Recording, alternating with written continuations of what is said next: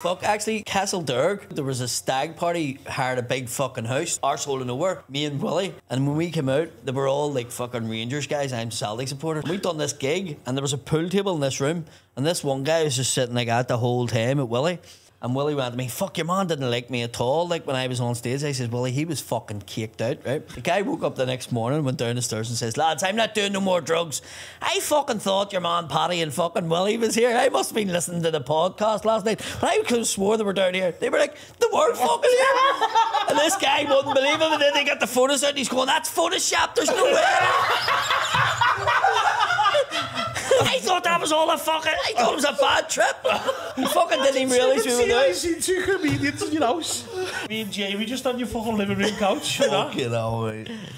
Oh. oh, that's funny. That.